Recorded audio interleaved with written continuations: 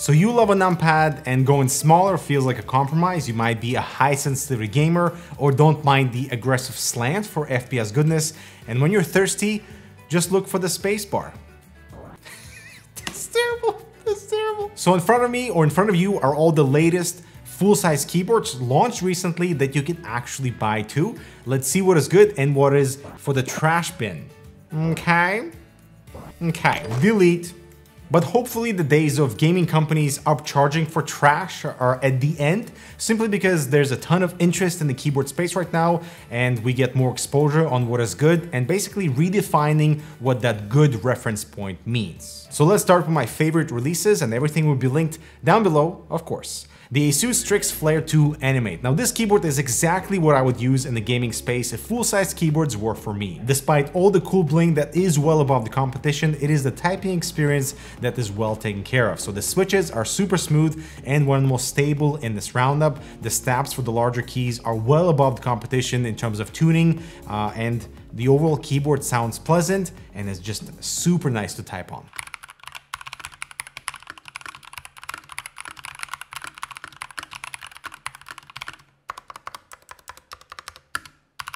The rest of the keyboard is super premium. Obviously the AniMe Matrix is pretty cool, but also limited in what it can display, so I give it kind of a gimmicky status. The really chunky cable is non-removable, which is a shame.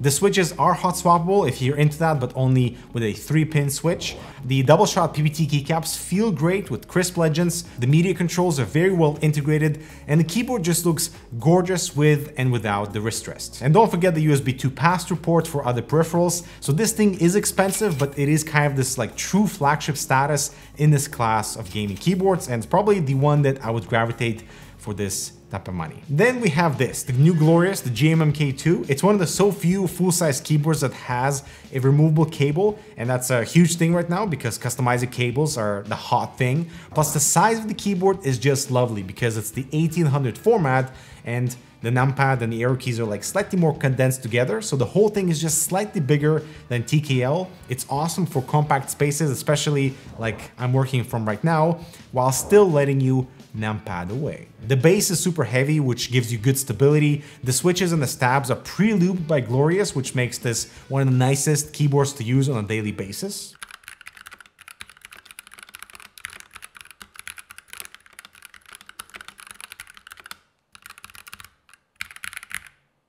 Of course, the double shot PBT keycaps have this good amount of texture, but the legends are fairly soft, not as crispy to indicate less premium keycap. I do love the accent escape key toe, lovely color. For those future swaps, the MK2 is hot swappable with 3 and 5 pin switches in case you find the Fox switches too heavy. So they do feel really smooth but perhaps a bit closer to blacks than reds, especially when you bottom out because of the added resistance. But this would be like 100% my top pick for a full-size keyboard for my space. Well done, Glorious and the car just drove away. Thank you very much. Bye bye. This next keyboard is not a keyboard at all, but a message from today's video sponsor. Oh, what a great day! Designed and miniaturized in Sweden, you can now nano and mini with the Meshify 2 and Define 7 series. Wow. Everyone's been asking Fractal to complete the series for that iconic experience, just on a smaller package. Always capable in the right hands. Some might say these are cute. I say they're very classy. See you later. Alright, so welcome back. One of the most surprising keyboards in here is the Keychron C2, a $50 keyboard with its priorities in line. So first of all, we have this really cool retro design without any illumination, and it's kind of refreshing to be honest, especially because of the double shot ABS keycaps that have a really pleasant, grippy texture, and the font is beautiful.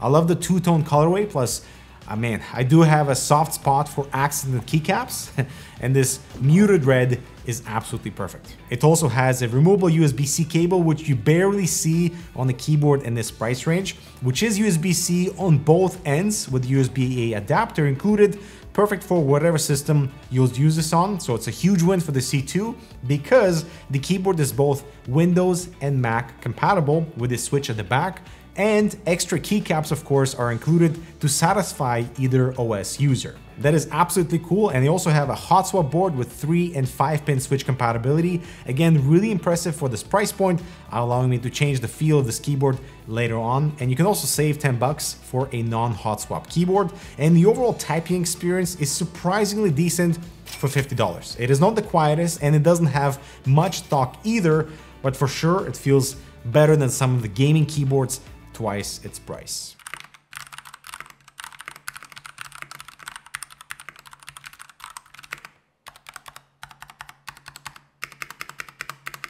My only complaint with this keyboard is the flex of the plastic frame.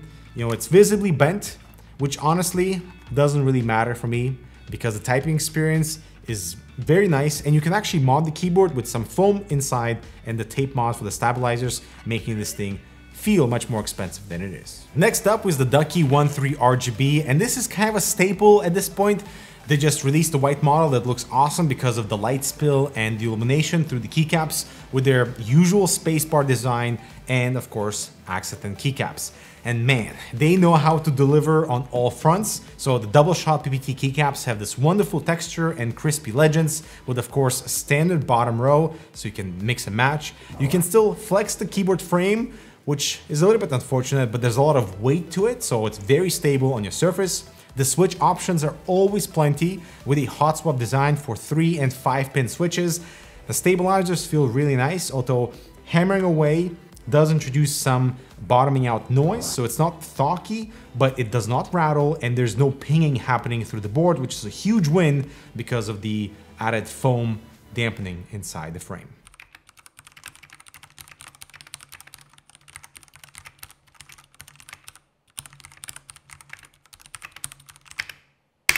Something to know is that there are no secondary legends on the keycaps however, so you'll have to refer to the manual if you want to use the mouse commands, record any macros, activate any of the media controls except for the dedicated volume control, change any profiles, or even play around with all the lighting modes.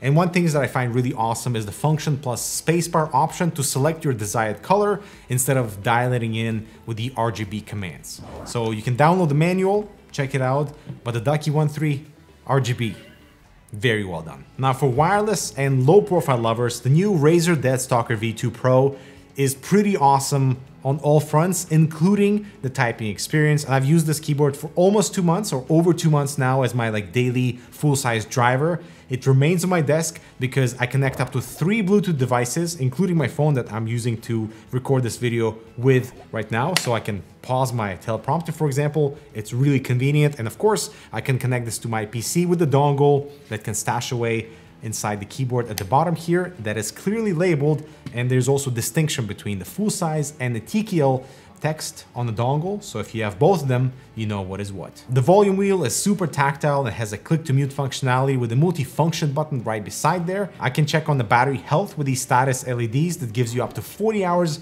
of continuous usage at 50% brightness, which I would say is decent. The only issue is the wireless connectivity is disabled when you plug it into charge, which is super unfortunate as otherwise the switches have this really pleasant sound profile and bottoming out with a bit of cushion at the bottom because of the silicon dampeners and just a very pleasant sound profile. Take a listen.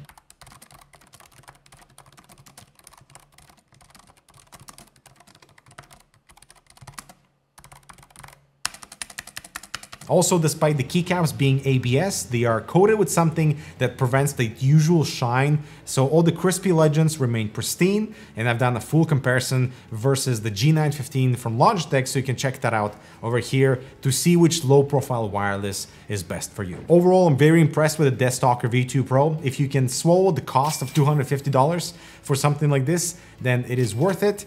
Otherwise, look elsewhere. I do have a few keyboards that need mentioning in order to highlight the room for improvement. AKA a very polite way to say they might be going in the trash bin if they don't get fixed. Know what I mean?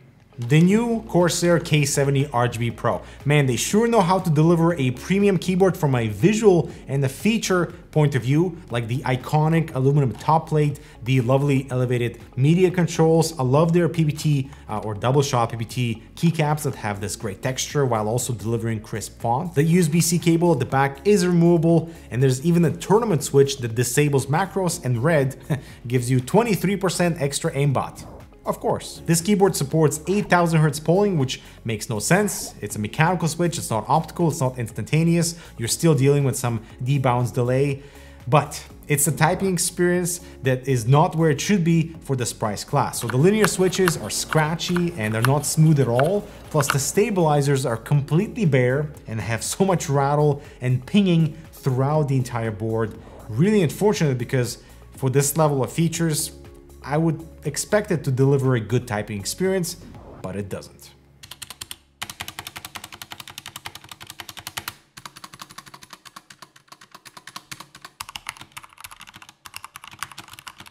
This next keyboard, you can tell, is their very first one and goes very much against their slogan, there's nothing extraordinary about the NZXT function. Despite the removable USB-C cable, the comfy wrist rest and the hot swap switches, it is basically all downhill from here. I am very sorry NZXT, but where do we begin? First of all, the volume skips scroll steps and it feels like there's something grinding inside. The three shortcuts buttons on the side are kind of useful with the mute, Windows lock, and brightness steps, but they're not remappable and these default functions could easily be just like some secondary shortcuts on the main keyboard while letting you macro those side keys for something else because they're fairly accessible. Now for the main keyboard, you can see these are standard ABS keycaps and they don't even have secondary legends on the numpad area. Not even a delete key, which perhaps is more useful to showcase. And just feels like a lazy design with hot swap keyboards thrown into the hype to like elevate a below average product. And the stabs on this thing are totally bare and sound horrible. Take a listen.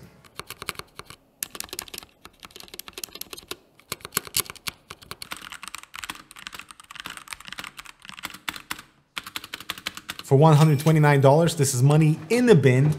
This is not how you enter a new product category, and let's just hope for something much better next time. My last keyboard is a budget surprise from Logitech that does a few things really well and a few things not so. Now the great aspects are the very clean frame design plus the aluminum top plate to avoid body flex. It's a very sturdy keyboard. The cable is non-removable but it exits on the right side which I prefer. And if you want proper bright white illumination without that RGB nonsense, this thing is perfect. Plus going full stealth mode is possible because of the darker transparent sections on the keycaps. You can see, that's awesome. Which are made with PBT by the way, so they are textured and hide the glossy tips. The stabs are actually okay. They are not lubed, but have some more dampening versus something like the NZXT keyboard. My only complaint with this keyboard are the switch options. It is only available with tactile switches that do not have a consistent feel across the board. Some are scratchy, some are smooth, some have spring pinging. At least they're all slightly muted, which is nice, and still have like a pleasant experience for typing.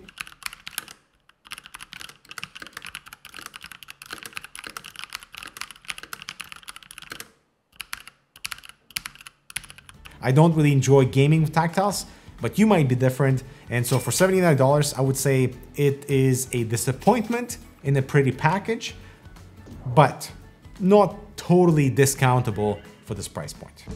I am back to say the Nano has this really clever fan shroud to direct the airflow directly into the main chamber, while the Mini is all about reviving that whole Micro ATX form factor. So join the Nano Mini Club with the Meshify 2 and the Define 7 series, explore all the case options down below. I'm out for real this time.